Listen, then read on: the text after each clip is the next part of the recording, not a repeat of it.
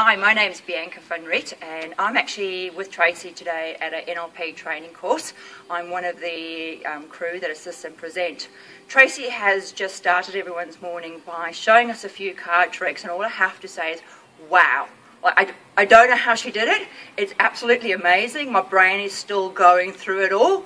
And like when she finished up, like I've got a friend who loves magician, and I just went, "You've got to come and be like be his birthday present and come do a show because that is amazing." Um, stand back, Dynamo. Here comes Tracy. Hi there, my name's Sharon. I run a holistic day spa. Now I'm here at Excellence now, and I have just seen the most amazing card trick by this amazing woman. Now, I'm the type of person that's a bit skeptical of these things, but I was standing there front and centre, watching it happen before my eyes, and you know what? It is remarkable.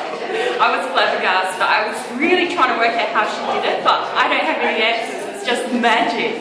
So if you have the chance, definitely come and have a look for yourself. Hi, my name's Julie Donnelly. From like we met in Montana's like Halloween party. And I just saw Tracy um, doing her um, party trick, and I think she's just amazing. Um, Tracy just did some magic at our Halloween party, and it was amazing. And I screamed, and everybody was just standing around her.